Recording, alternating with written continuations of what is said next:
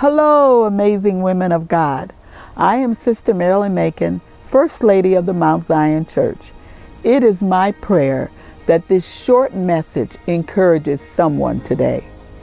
It is about something that I'm afraid this world has too little of love. A very powerful four letter word. Love comes from God, and therefore you must first love Him before you can love others.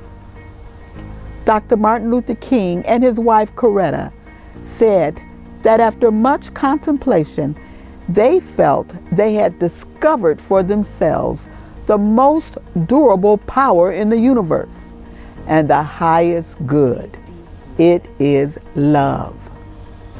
Love was the guiding principle in their life, even as young people in their 20s, with most of their life still before them. Their commitment to love gave them the courage to risk their lives for the freedom of their people. Their commitment to love gave them the courage and conviction to do what they felt was God's will. Though we may not make the enormous personal sacrifices that Dr. and Mrs. King did, we too must reach, must search our soul to discover what choosing to love will mean in our lives.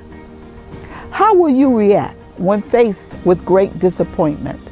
How will you respond when someone disrespects you, treats you unfairly or unkindly? Yes, it is difficult to love those who do unkind things, but the more unlovable a person appears, the more in need of love they are.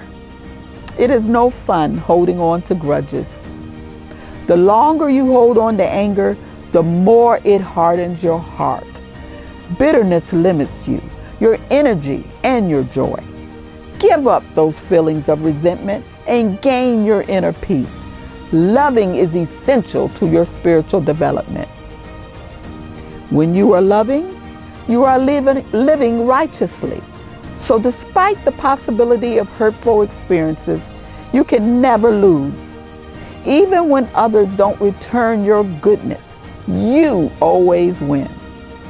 Because when you show love, you are in harmony with God, and blessings will flow beyond measure in your life.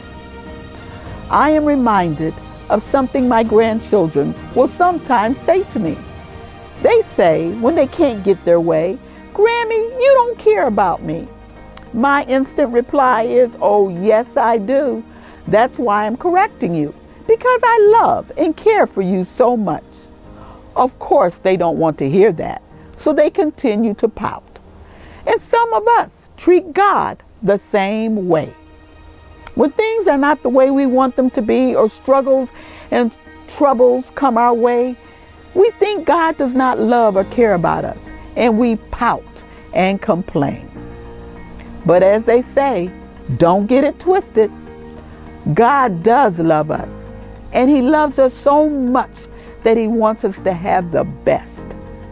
1 Corinthians 13 13 says, Though I speak with the tongues of men and of angels and have not love, I am become as sounding brass or a tinkling cymbal.